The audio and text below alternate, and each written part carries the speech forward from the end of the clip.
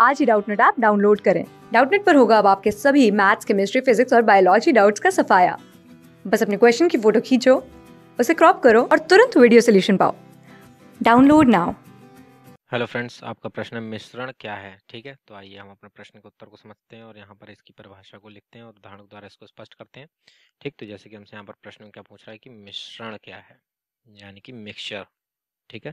तो ये मिश्रण जो होता है, हमारा कुछ इस प्रकार से परिभाषित होता है कि दो या दो से अधिक तत्वों या यौगिकों को किसी भी अनुपात में मिलाने से बना पदार्थ जिसमें अवयवों के गुण वर्धमान होते हैं, मिश्रण कहलाता है। ठीक है ना? तो ये इसकी परिभाषा है तो इसको यहाँ पर पहले लिख लेते हैं, फिर इसको एक उदाहरण के द्वारा स्पष्ट कर लेते हैं तो आइए लिख लें परिभाषा।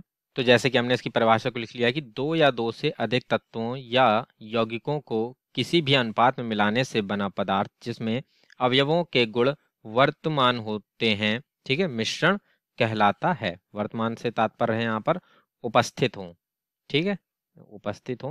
यानी अवयवी जो तो यहाँ पर अवयव जो, ये जो हमारे पदार्थ हैं, जिसमें अवयवों के गुण जो है वर्तमान है, यानी उपस्थित हैं, ठीक है तो वह हमारा क्या कहलाता है, मिश्रण कहलाता है, ठीक। तो अब जैसे कि यहाँ पर इसका उदाहरण देखें तो जैसे कि हमारे यहाँ पर ये जो पानी और चीनी का जो बना शरबत होता है ठीक है? चीनी और पानी का जो बना शरबत होता है, ठीक है? वह हमारा एक मिश्रण होता है, ठीक है? चूँकि इसमें हम चीनी और पानी को जो है किसी भी अनुपात में जो है आपस में मिला देते हैं वो दोनों आपस में जो है मिल जाते हैं, ठीक है? तो इस प्रकार से जो है इसमें हमारा पानी की भी पानी भी उपस्थित होता है, चीनी भी उपस्थित होती है, दोनों के गुण उपस्थित होते हैं उसमें।